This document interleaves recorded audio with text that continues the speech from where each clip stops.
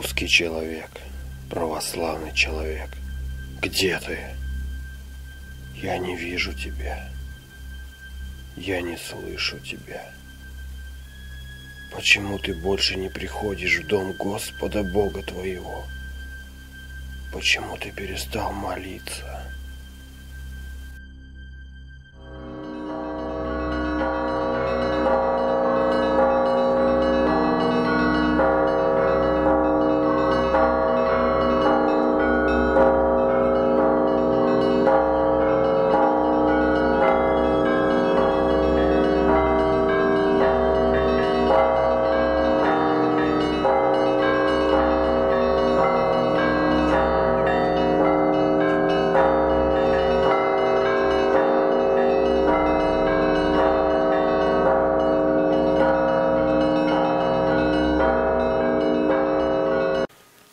Где-то в глубине России, ее провинции, в ее малых древних городах живет эта великая русская душа.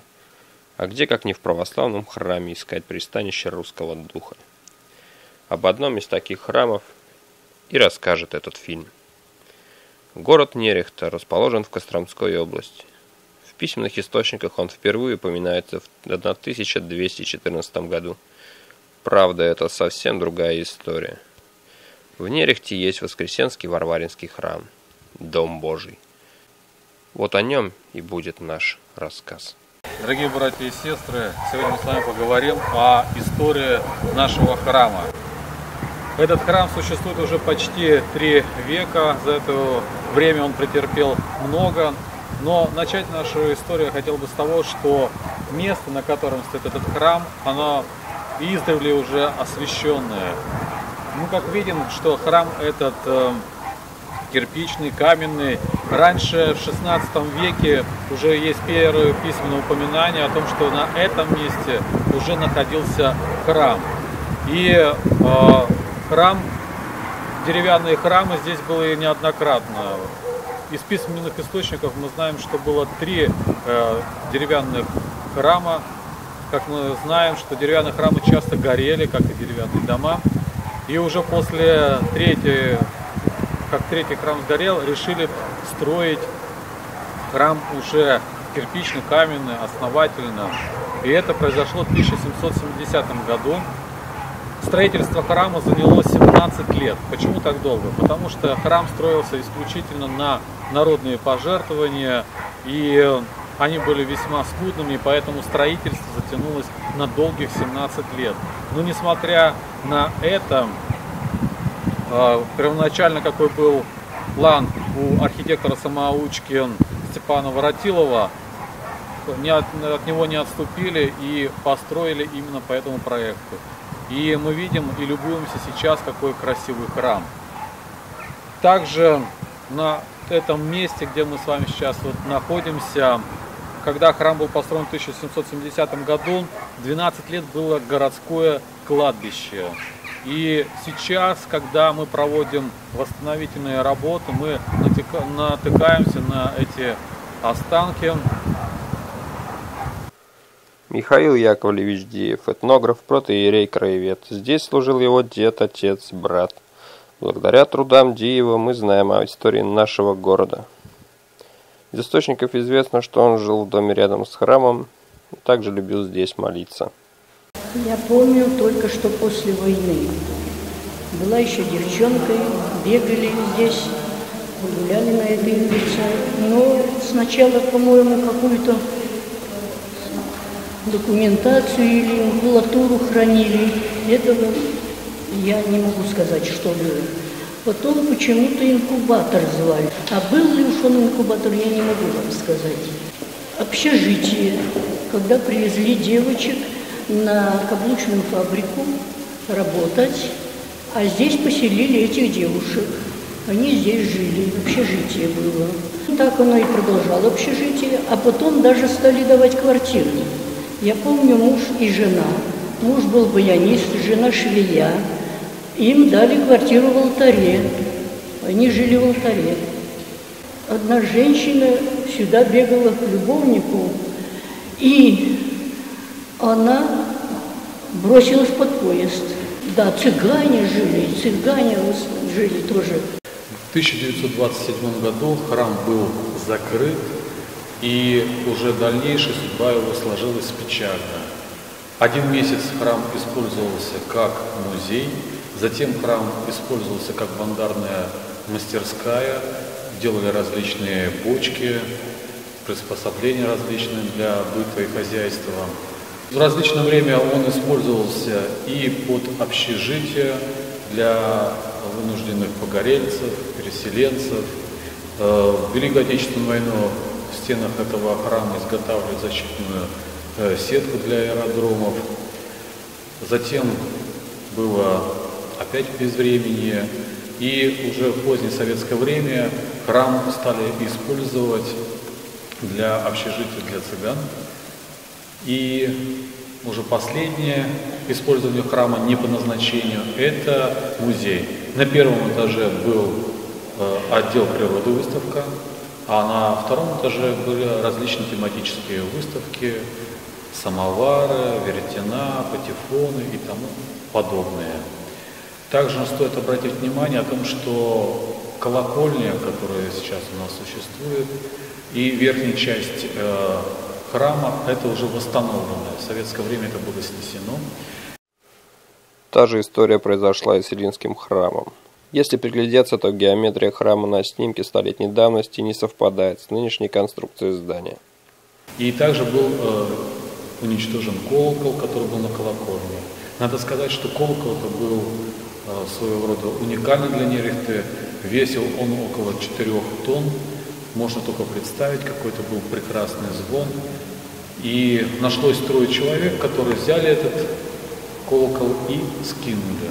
В 1927 году, буквально за пару часов, все это исчезло в непонятном направлении. Никто даже не смог из прихожан взять домой на сохранение икону, как мы знаем, бывает, э, были такие истории в других храмах.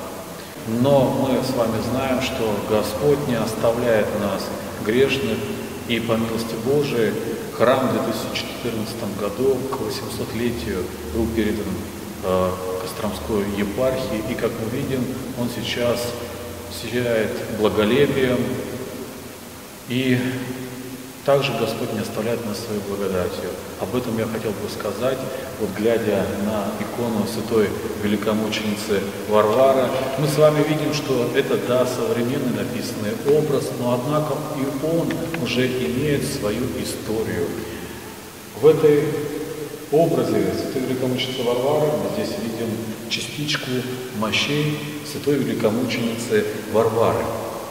Дело в том, что 30 октября 252 года назад трое неречан, когда были в Батуринском Николаевском э, монастыре, это на территории современной Украины, они попросили игумена дать им частичку мощей великомученицы Варвары. И он им дал.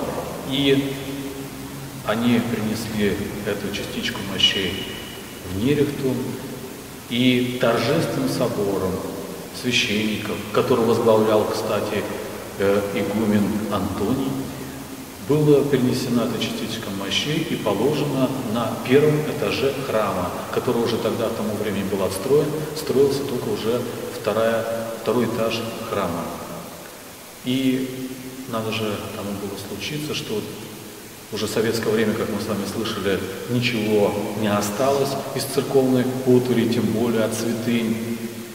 И на освящение храма архиерейское игумен Антоний, это уже наше время, а, подарил частичку мощей, которая была вложена в этот образ.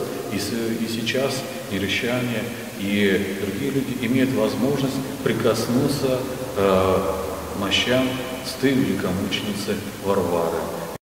Я благодарен судьбе, потому что в своей жизни я вплотную занимался вопросом этого храма, восстановления этого храма, передачи этого храма, потому что я данный вопрос поднимался еще в 2005 году, когда я работал в администрации замглавы, я курировал как раз вопросы конфессий, и вот пришлось мне по работе столкнуться с этим вопросом. Но тогда этот вопрос э, был отодвинут, и было сказано, что время еще не наступило. Значит, время менялось, менялись и мы. И в 2006 году, когда заступил архиепископ Алексей, значит, был владыка, э, у меня была аудиенция с владыкой по этому вопросу, по вопросу передачи храма. Аудиенция шла где-то порядка двух часов.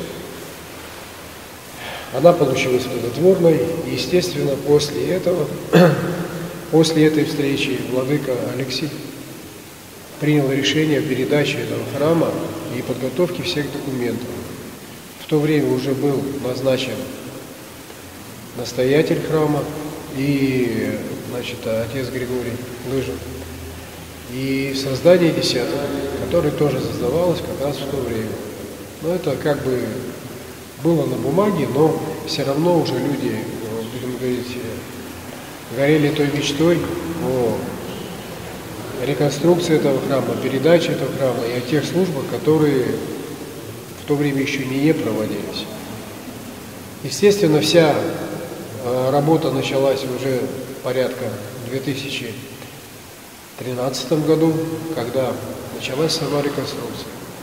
То есть э, реставрация этого храма, ремонт этого храма. Работа проводилась очень много. Но, естественно, мы увидели, из чего всего остального возрос красавец храм, то есть действительно все стены и вся убранность храма внутри говорит о том, что трудов было положено много. Православные все были очень рады этому. И, естественно, на День города в 2014 году значит, прошла генеральная служба, с, которую вел владыка Ферапонт. Вот, и будем говорить, что в этот день как бы храм вступил в свои права.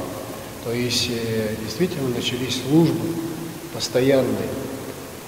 И первоначально службы велись только на втором этаже, потому что на первом этаже не, был, не было еще закончено до конца. И, естественно, службы велись, то есть молитвы здесь уже проходили, люди молились, и с Божьей помощью продолжался ремонт внизу, где действительно тоже было все запустение. Там пришлось э, реставрировать и цены, и, и стены, и полы, и все, все остальное. В общем, естественно, и вся система отопления была заменена. Благодарю Господа за то, что помог мне прийти в этот храм Воскресенский Варвары. В этот храм, то, что он откроется, ну, задолго до открытия уже разговоры шли. Батюшка Анатолий в Крестовоздвиженском храме часто мне говорил о том, что храм Варвары в скором времени начнет служить, службы проводить. Часто мы об этом говорили и мечтали, что будем здесь. Прошло время, благодаря вот, друзьям моим, близким братьям, Михаил Денисову, который подсказал и позвал в этот храм. Я пришел, продолжил молиться Богу. Ну, вы являетесь членом ну, хора, певчего хора храма.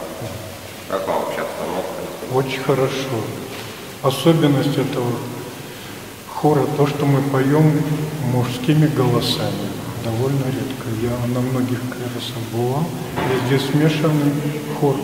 А здесь мы поем чисто мужским голосом. Мне очень нравится. Сегодня прошло больше двух лет служения храма. Действительно, храм намаливается, православные ходят, и история, и даже присутствие православных говорит о том, что храм действительно был нужен. Потому что народу много ходит, особенно на праздники. Порядка больше, больше ста человек собираются.